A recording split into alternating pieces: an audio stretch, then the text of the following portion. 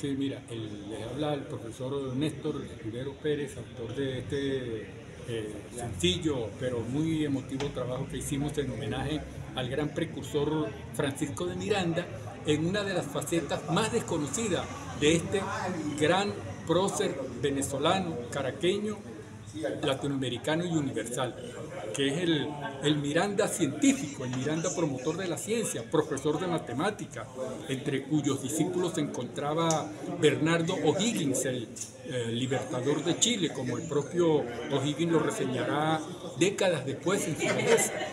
Eh, esto con motivo de esta feria, decimonovena eh, Feria del Libro Internacional, celebrada acá en Valencia, en este caso en los espacios de la Casa Rafael Pocaterra, cuatro capítulos. Uno, la formación intelectual de Miranda.